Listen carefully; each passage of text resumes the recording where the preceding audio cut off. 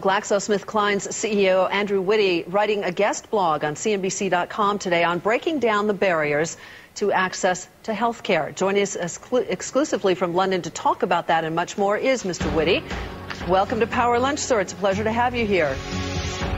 Thanks very much, Sue. It's a pleasure to be with you. Your company was just rated number one on the Access to Medicine Index because of your efforts to expand access to medications to parts of Asia and parts of Africa, those places you also spent a lot of your career in.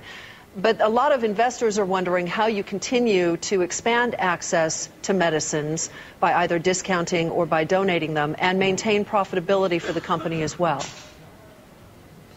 I think it's really a challenge of how we do both. How do we develop our business all around the world in our established markets as well as emerging economies, but also make sure we don't forget those people who unfortunately have really no economic means to access the healthcare system. For example, in the 60 least developed countries of the world. We're trying to strike that balance, and I think uh, the progress we're making, I'm very pleased with. I was delighted with the results of the Access to Medicine Index. And what it shows is that some of the approaches we're taking are really working. It's really making a difference it's allowing us to get medicines to people in Africa and elsewhere who otherwise uh, would not have access to those uh, drugs and technologies. And at the same time, I think we're also being able to demonstrate over the last couple of years we've been able to make the kind of changes that were necessary to be more competitive in the Western mm -hmm. markets as well. Mr. Witty, it's Michelle here, and I applaud you for your work in the 60 least developed countries in the world. When I look at the situation, though, I see Japan, Europe, Canada they all insist on having very cheap drugs as well. They all have some form of price controls, which means that essentially Americans end up footing the bill, the R&D bill, for companies like yours. When's the industry going to take a stand against this other aspect of your business, which to me seems very unjust? Why does Japan deserve cheap drugs just like Africa? Well, well, actually, around the world, you, see very different drug prices according to the different systems that we operate in. Japan happens to be one of the higher drug price markets, actually relatively similar to the US on many medicines. You're quite right, though. In a number of European countries, we see a lower level of drug pricing. Uh, we're not happy about that. We spend a lot of time trying to negotiate with those governments, but unlike the US, you see governments which have essentially 100% of uh, healthcare uh, resources at their disposal. There is no choice in those markets for patients. And oftentimes what we see attendant with lower drug prices are delays to access to new medicines and a delay to access to innovative new medicines. Now, I think what we see here in the US is some very different priorities, a real emphasis on innovation, on speed to access, and on giving people choices.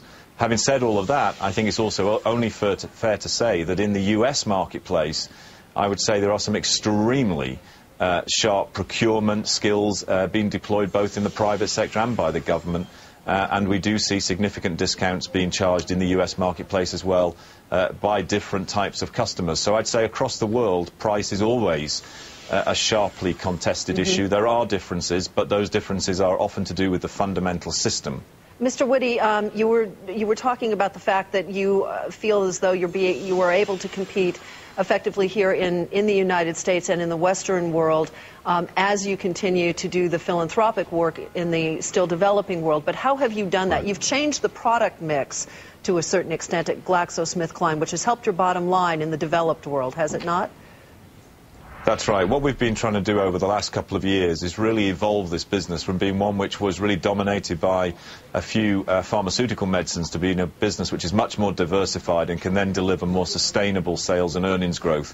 We've done that by allocating capital much more evenly into our consumer healthcare business, for example, a business that markets products like Sensodyne in the US, uh, Panadol internationally, and other uh, well-known consumer products also investing in our vaccine business, which has been a particularly strong growth business for us over the last several years, and making sure that we invest in the emerging economies, uh, so not the least developed, but those up-and-coming emerging economies of the world, places like India and China. Mm -hmm. And we've seen as a consequence of that uh, our business generally being a much more balanced business. Mm -hmm. It's given us more growth and it's allowed us to then refocus what we're doing in Europe and America to make sure that the way we compete in those markets is ready for what we believe will be the new marketplace of the West.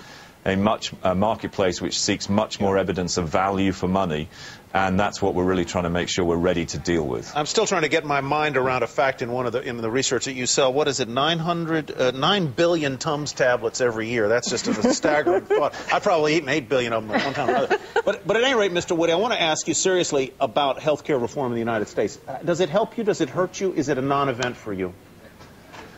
Uh, it's certainly not a non-event. I think healthcare reform is a very major change for you know, literally hundreds of institutions and thousands and millions of individuals in the US. I think it was I think it was an, it's an important piece of legislative change. As far as it affecting the industry is concerned, there are some short-term impacts. There's no doubt at all. This has a negative impact on price in the short run in the US. Uh, what it also does, of course, in the longer term is potentially open up some greater volume. We have to wait and see. It depends exactly on how the coverage extensions take place.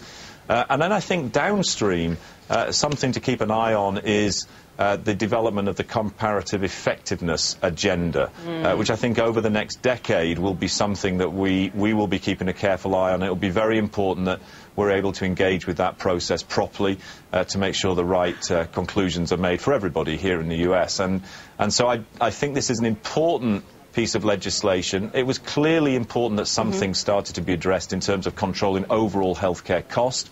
Uh, my guess is that, that, over time, it will take a while for us okay, to really yes. all understand what the downstream consequences of this bill are. Mr. Witty, thank you.